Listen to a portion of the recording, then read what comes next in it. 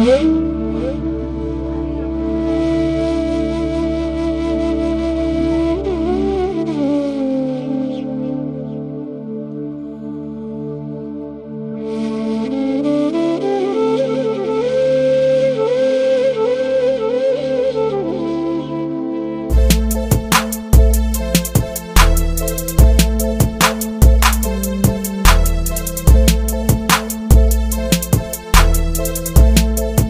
திருவல்லறை புண்டரீகாட்சன் திருக்கோவில்.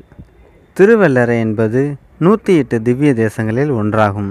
சோழ நாட்டு நான்காவது திருத்தலம். இத்திருக்கோவில் திருச்சிராப்பள்ளிக்கு அருகிலே துறையூர் போகும் வழியில் அமைந்துள்ளது.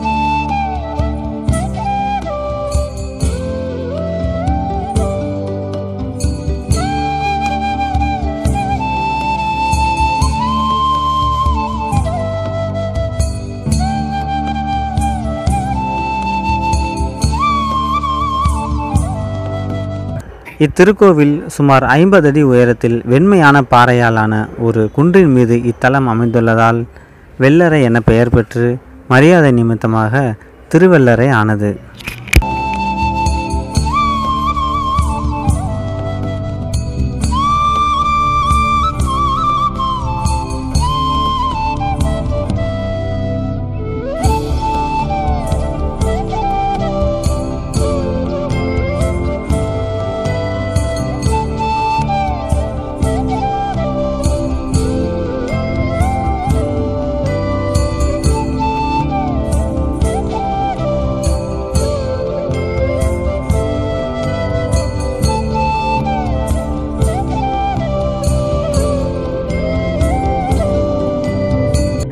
பெரிய மதில்களுடன் கூடிய விசாலமான கோவில் இது.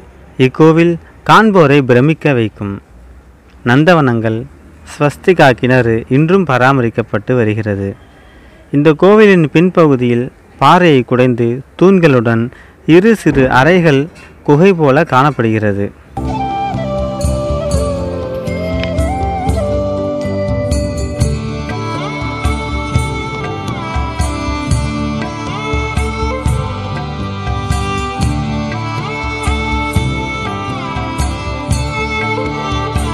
பார்த்தோம்ல இந்த குகையில தான் பூமி நாச்சியாரும் மார்க்கண்டேயனும் தவம் பண்ணியிருக்காங்க. இவங்க தவம் பண்ணதுக்காக பெருமாள் வந்து காட்சி கொடுத்துருக்காங்க. இந்த குன்றின் மேலே தான் காட்சி கொடுத்துருக்காரு. இந்த பெருமாள் பேர் பார்த்தீங்கன்னா புண்டரி காட்சான். அதாவது அவங்க பெருமாள் கா குன்றின் மேலே காட்சி கொடுத்தனால தான் அந்த பேர் வடமொழியில் புண்டரி காட்சான்னு பேர் வச்சுருக்காங்க. ஸ்ரீதேவி பூதேவி நீலாதேவி மூன்று நாச்சியார்களுக்கு மூன்று திவ்ய தேசங்கள் பெருமை. இதில் ஸ்ரீதேவி நாச்சியாருக்கு திருவல்லரை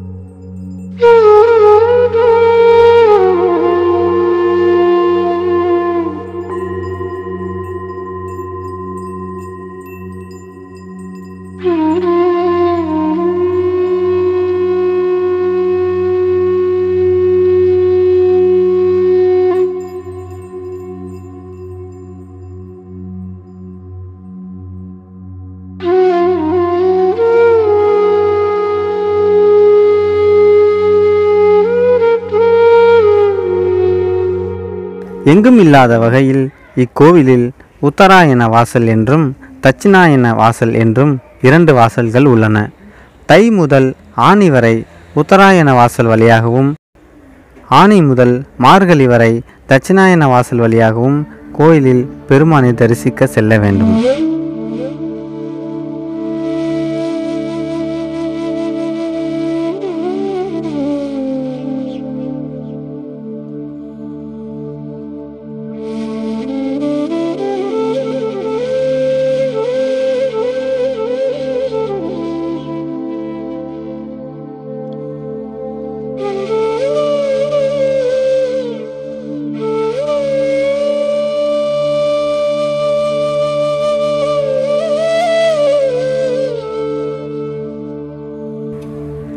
தாயாருக்கு சிறப்பம்சம் உள்ள இவ்விடத்தில் அவரை வணங்கிய பின்னே இறைவன் சன்னதிக்கு செல்ல இயலும்.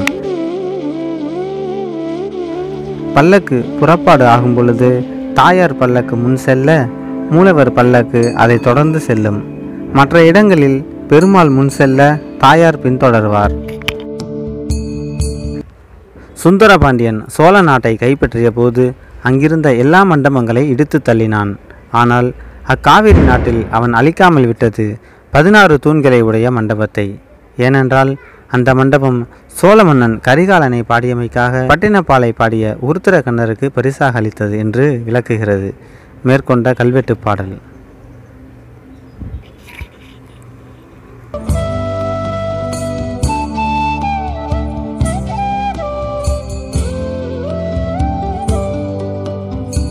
இக்கோவிலில் பல்லவ மன்னன் தந்திவர்மனின் ஐந்தாம் ஆண்டில் தொடங்கி மூன்றாம் நந்திவர்மன் சோழர்கள் விஜயநகர பேரரசின் நாயக்க மன்னர்கள் என பல காலகட்டங்களில் இந்த கோவில் ஆக்கம் பெற்றுள்ளதை அவர்கள் காலத்தின் கல்வெட்டுகள் மூலம் அறியப்படுகிறது. மதுராந்தக உத்தம சோழனின் எட்டாம் ஆண்டு கல்வெட்டுகளில் இந்த கோவில் பெரிய ஸ்ரீ கோவில் என்று குறிப்பிடப்பட்டுள்ளது. இக்கோவிலின் இரண்டாம் நுழைவு வாயிலில் மதுரையைச் சேர்ந்த சுந்தரபாண்டியன் காலத்தில் பொறிக்கப்பெற்ற கல்வெட்டில் காவிரி நாட்டை எப்படி தனதாக்கி கொண்டான் என்பதை விளக்குகிறது. அந்த பாடல் வெறியார் தவளத்தொடை செயமாறன்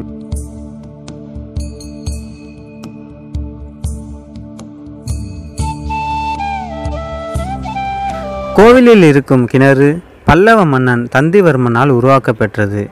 இது மார்பிடுகு பெருங்கிணறு என்று அழைக்கப்பெறும்.